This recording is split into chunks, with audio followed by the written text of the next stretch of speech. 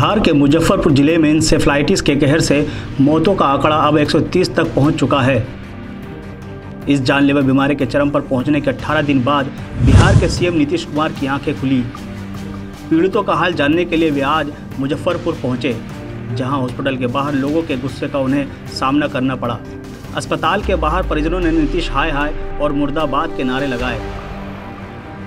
परिजनों का आरोप है कि हॉस्पिटल में डॉक्टरों की कमी और बद इंतजामी से इतने बच्चों की जाने गई है, जो कि इसके लिए सिर्फ़ सरकार और हॉस्पिटल प्रशासन ही जिम्मेदार है। हॉस्पिटल में इलाज ठीक से नहीं हो पा रहा, रोज बच्चे मर रहे हैं और सीएम अब जागे हैं। उन्हें वापस चले जाना चाहिए। इससे पहले भी रविवार को केंद्रीय स्वास्थ्य मंत्री डॉक्टर हर्षवर्धन भी मुजफ्फरपुर पहुँचे थे। तब उनके सामने भी चार मासूमों ने दम तोड़ दिया था। जिसके बाद पीड़ित परिवार वालों ने हर्षवर्धन का जमकर विरोध किया। देश के 19 राज्यों के एक सौ इकहत्तर जिलों में जापानी इंसेफ्लाइटिस का असर है। पूर्वी उत्तर प्रदेश और बिहार सहित दूसरे कई राज्यों के 60 ज़िले इंसेफ्लाइटिस से ज़्यादा प्रभावित है। इस बीमारी का प्रकोप साल के तीन महीने, अगस्त, सितंबर और अक्टूबर में सबसे ज़्यादा होता है। लेकिन इसके रोकथाम के लिए सरकार के पास कोई बेहतर उपाय अभी तक नहीं है। इंसेफ्लाइटिस क्या है और ये कैसे अपने चपेट में लेता है, आइए इस रिपोर्ट में जानते हैं।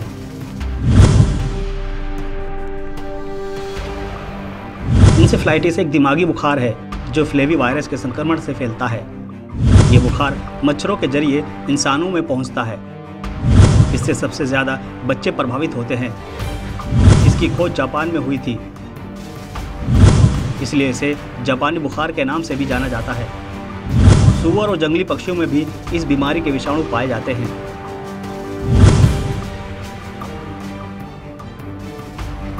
इस बीमारी का पहला असर व्यक्ति के दिमाग पर होता है। दिमाग पर असर से व्यक्ति को ऑक्सीजन लेने में कमी आने लगती है, जिसकी वजह से उसे सांस लेने में दिक्कत होती है। इसके साथ उसे तेज बुखार और सिर दर्द की शिकायत होती है। इससे प्रभावित व्यक्ति की आँखें लाल हो जाती है। हाथ पैरों में अकड़न की भी शिकायत होती है। साथ ही व्यक्ति को चिड़चिड़ेपन के साथ थकान और बेहोशी की शिकायत भी आने लगती है। ये एक से चौदह साल के बच्चे और पैंसठ साल के ऊपर के लोगों को अपनी चपेट में लेता है।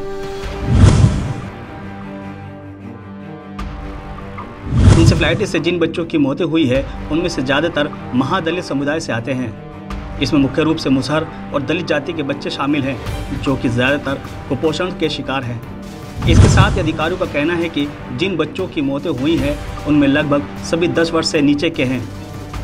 मुजफ्फरपुर के एस के एम सी एच में अब तक 90 बच्चों की मौतें हो चुकी हैं। वहीं ट्रस्ट द्वारा संचालित केजरीवाल मैत्री सदन अस्पताल में 20 मौतें हुई हैं। एक्यूट इंसेफ्लाइटिस सिंड्रोम के लिए लीची में मौजूद टॉक्सिन्स को भी जिम्मेदार माना जा रहा है। अस्पताल में अभी 330 बच्चों का इलाज चल रहा है।